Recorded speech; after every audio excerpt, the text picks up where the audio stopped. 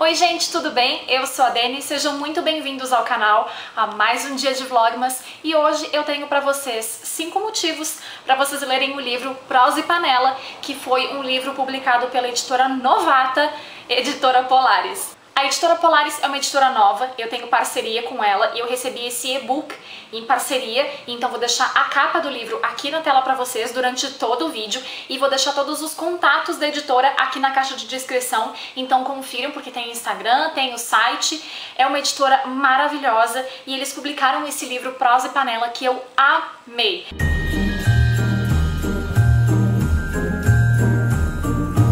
Narrativa de Prosa e Panela é totalmente envolvente. A maneira como a narradora fala pra gente sobre as comidas e conversa com a gente sobre diversas outras coisas ao longo da narrativa nos envolve de uma forma que é praticamente aconchegante. E a experiência que a narradora tem com a comida é uma experiência, digamos que sensorial, e isso fica muito evidente ao longo da narrativa. O livro é narrado de maneira simples, mas totalmente apaixonante faz com que a gente lembre de pessoas, de momentos, de comidas, cheiros, sabores. Ai, é um encanto. O livro tem um toque de culinária com algumas dicas da cozinha que a autora compartilha com a gente, mas também tem um toque de amor muito profundo, porque a autora vai falando pra gente sobre as memórias, sobre as lembranças, sobre as coisas que ela gosta e quer compartilhar com a gente, e tem esse toque, tem esse cheiro, esse sabor. Então por isso que eu falei pra vocês que é uma experiência sensorial. Todo mundo tem na vida um amigo que gosta muito de conversar e que a gente se perde na conversa, a gente se perde no tempo conversando, trocando ideias, falando sobre coisas que a gente viveu e que eles também viveram.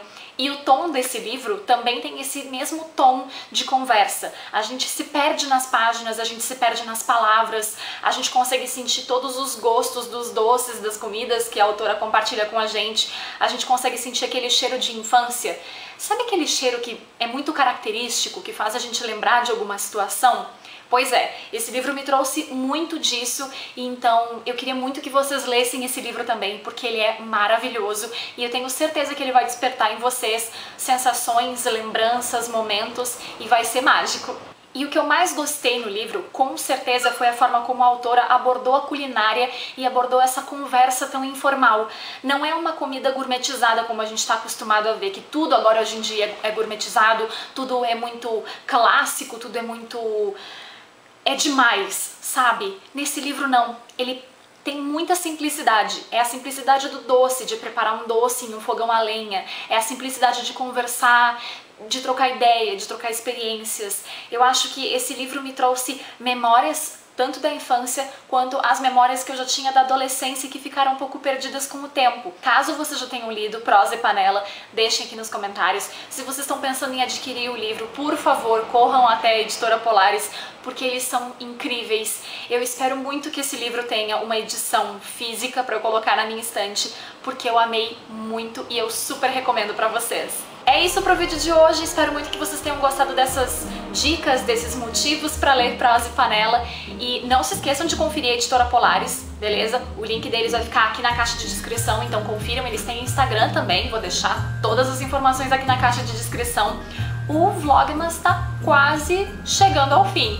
Então, se vocês ainda não mandaram as perguntas de vocês pra mim, pra eu responder no dia 30, mandem as perguntas através da foto do Instagram, que vai ficar aqui na tela pra vocês a foto, que vocês podem deixar nos comentários, ou então no vídeo que eu publiquei, foi o primeiro vídeo do Vlogmas, vai ficar linkado nos cards pra vocês.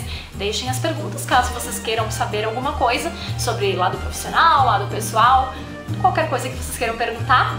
E deixem um like no vídeo, se inscrevam no canal caso ainda não sejam inscritos e deixem um comentário sobre o que mais despertou em vocês a curiosidade para ler Prosa e Panela. Beleza? Um beijo, tchau!